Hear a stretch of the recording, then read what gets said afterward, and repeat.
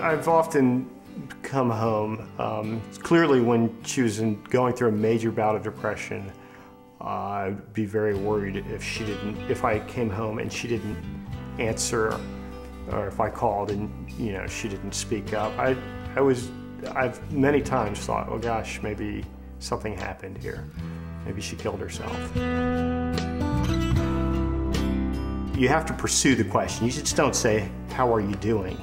And because a lot of people don't want to burden you with their lives because people don't want to be whiners. In this society, uh, you don't want to be a whiner.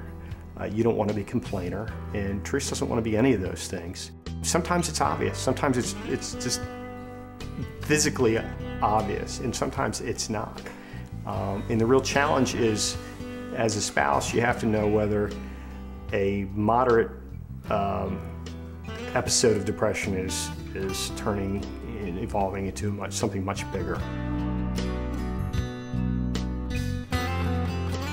Uh, I think the average person out there that doesn't understand depression, doesn't suffer from it, doesn't understand um, the human brain's ability to tell itself you're better off dead. And there's that, uh, that is a major component, in my opinion, of the disease. That's something that people can't necessarily see on the outside, but that's something that can be communicated.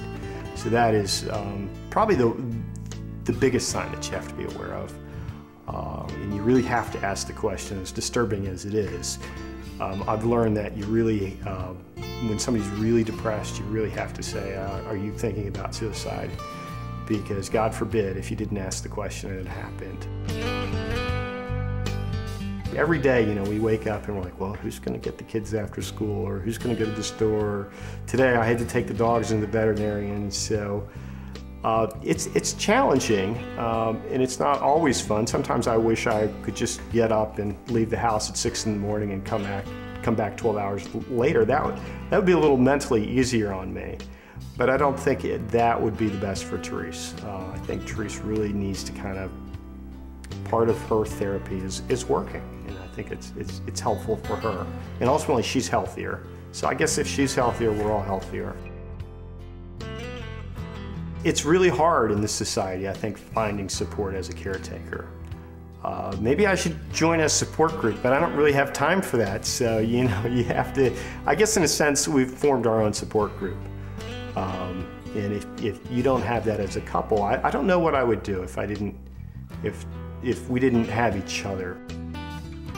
Mental illness is a lot of work. It's very tiring. It's frustrating. Um, it never goes away. It, it truly doesn't. It, you, it, it might be in a good state for a while, but it's, it's, it's, it's always in the background. It's always lurking. It's always kind of waiting to jump out. So, um, no, I'm not, I'm not interested in giving up or quitting. Um, uh, so, you know, I'm tired. A lot of times I am tired. I'm frustrated. I'm cranky. And it comes out. Um, but you have to keep moving forward, you know. If you want to stay married, if you want to keep your job, if you want, you know, to keep being a good father, you have to kind of keep going. Every day is a struggle, uh, but you know, it's, it's it's all rewarding too.